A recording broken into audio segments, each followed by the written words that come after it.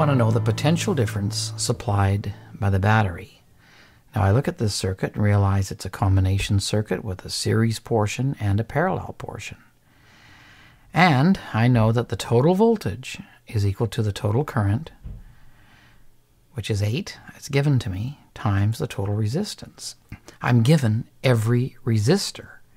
Therefore, it's easy to find a replacement, an equivalent resistor for all of them. So let's find that.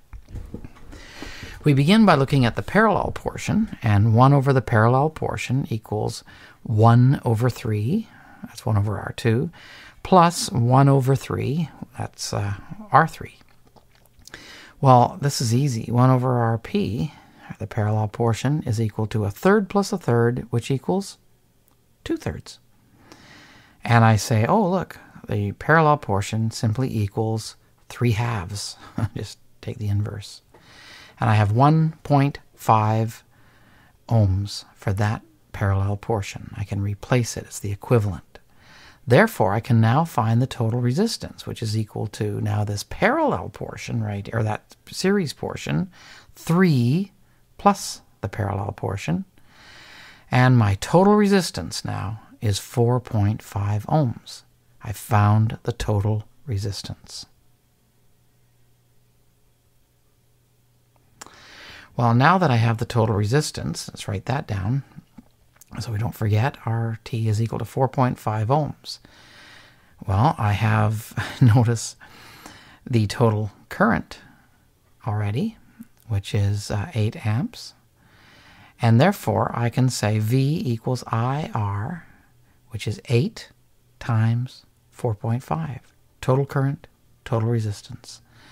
And my voltage, 36 volts. Now let's take a look at a completely different way of doing it.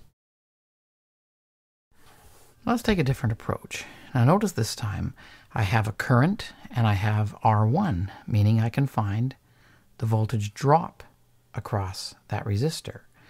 V is I times R. And you know, don't even reach for a calculator. 3 times 8 is 24 volts. I now know the drop through there.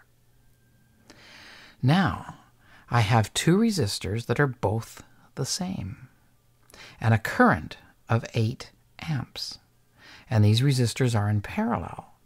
Now what that means is if 8 amps comes in and I have two resistors, there's the 8 amps, and they now come into um, two resistors that are in parallel that are exactly the same, I have 4 amps through each arm. It will divide evenly through the resistors. Well, look, now that I have both R and the I, I can find the voltage drop across any one of those resistors, and it's going to be 12, 4 times 3, through any, any of them. It's 4 times 3 is 12, the total drop. Therefore, the total loss of voltage will be the 24 plus the 12, and that must be then the gain in the battery. 24 plus 12, 36 volts.